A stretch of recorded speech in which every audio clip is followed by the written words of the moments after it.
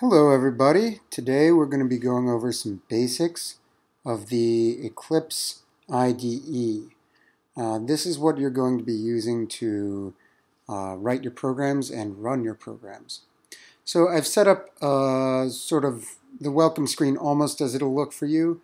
Uh, there'll be a little welcome tab here uh, that you want to close. So click on the X to close it. And you also notice there's a bunch of stuff around, uh, possibly an outline, possibly a task manager. Um, just close the stuff on the right by clicking close. And you'll have more space to work, which is this area in here.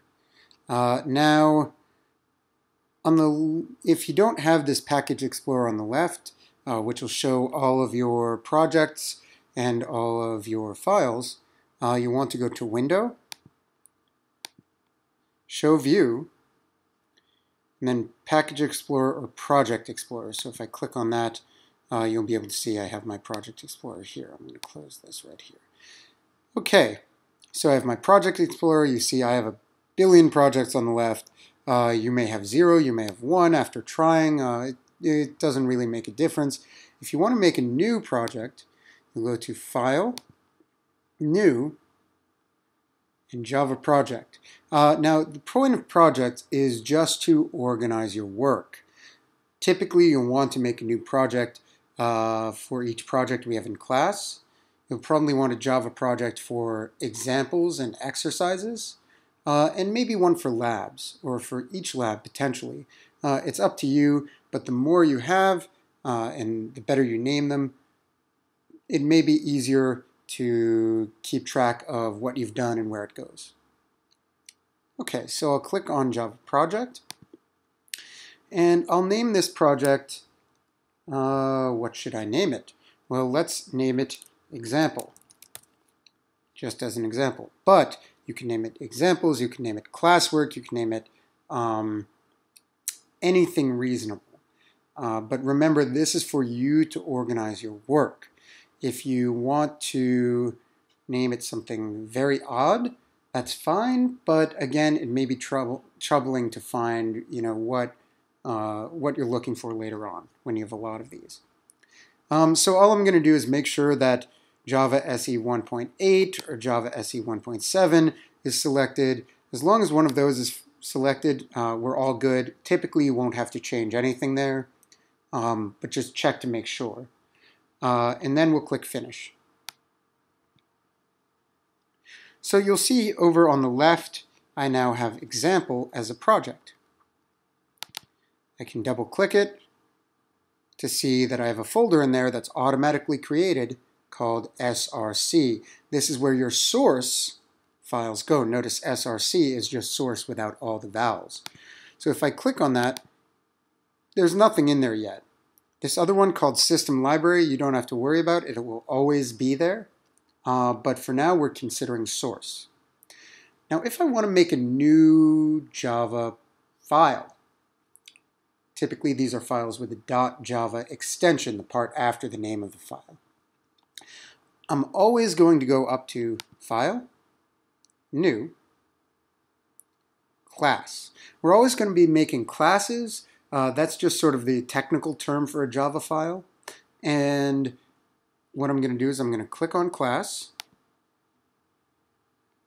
And you'll notice there's a ton of information here. Um, to start out, we have the name field. And this is the most important field um, because it's a descriptor of what our file is and is for. Uh, and there are a couple rules that we have for naming fields, uh, for naming our files, rather. Um, the first is starts with a letter. Second is that it has only letters and numbers, and the underscore and the dollar sign. Those are all valid characters. Typically, you'll only be using the underscore as a special character, but we have the letter at the beginning, and then anything after that. The other thing we like to do, and this isn't necessary, but it's conventional, and by conventional, I mean proper. I mean, it's what most Java developers will do to make sure everyone's sort of doing the same thing. It's just like in math, we use the equal sign to say that two things are equal, if someone said used a question mark to show that two things were equal, no one else would understand it. So we have conventions to make sure that everyone is on the same page. And the convention is for class names to do something called camel casing with a letter at the start that's capital. So I might name this first program. Notice every word has a capital letter at the start. And the first letter is always capitalized of the name. I could also name it camel case example. Same deal, every word has a capital letter at the start.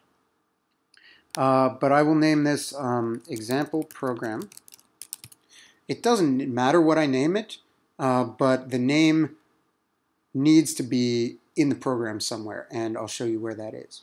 So we name it example program. You could name it uh, dice game or calculator or whatever your current uh, project is, your current assignment. Um, lab 17, uh, you know, uh, variable practice, something like that. And we're going to click finish. Everything else doesn't matter for now. I'm not going to have you click on anything in particular because we need to sort of see what the structure is supposed to look like. So I'm going to click Finish. And you'll notice that it opens up an example program. This is exactly what it should look like. It should say public class example program. Example program is the name that we gave the file. You'll notice up here, they must match. This, this word right here that I've highlighted and the name of the file must match exactly, including uppercase and lowercase. If you don't, you'll get a compiler error. So, to start with, I'm going to go inside these braces, and you'll notice that I have a box surrounding a matching brace right here. That tells me that things are matched up. It lets me know that I've opened and closed my class, my program. Inside, I'm going to press Tab, and I'm going to write out public static void main string brackets args. And then I'm going to make another block. And this block, again, tells me that inside is the stuff associated with this bit of code called main. The stuff over here we're going to get into detail about later on. The stuff in here we're going to talk about a little later on. But for the most part, right now, you just need to know that they must be there and that other than that, you won't know anything about them for some time. The capitalization matters, the spelling matters, but aside from that, you know, it's just something standard that we're going to have. Inside this main area is the stuff that we're going to be executing. Um, and this is where you're going to write your practice pro programs, you're going to do uh, any of the functional stuff that we're, we're working on. Um, and if you have a worksheet, you can practice it. And here you can type out the stuff and see the output. Now I'm going to write a simple program. I'll do a simple system print statement. And inside I'll have the words, um, welcome to Eclipse.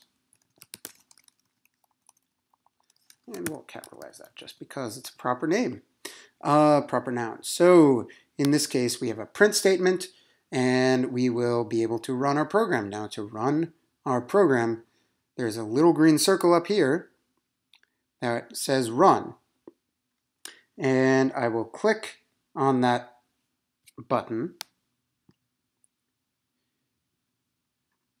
and my program will run and any output that I have, anything I want to print to the screen, will come out down here.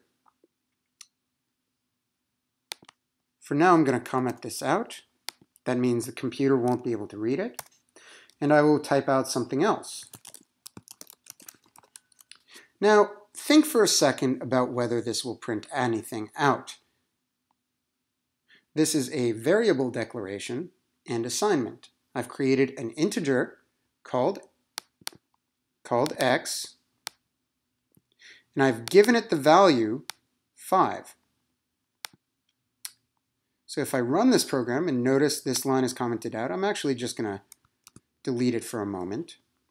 If this was just what I had in my program, think about if anything would run. Now I'm going to run it. And the program runs. I didn't get any errors. There was a little blink down here with a red square that indicates whether that the program is running and I can stop it. But nothing came to my output because I didn't tell the computer to print anything out. Another thing that I can do to make sure that the value that I made is printed out is I have my print statement. And inside, I'm just going to say that I'm going to print x, or the value of x. So I can run it, and it will print out 5.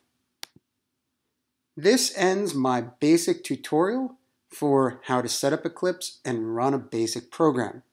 If you want to make another program, simply go to File, New, Class, and create another one. It will appear in the same folder.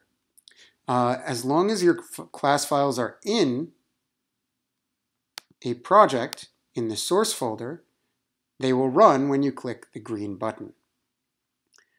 We'll talk more about Eclipse and importing files uh, and things of that nature in the next video. Thank you.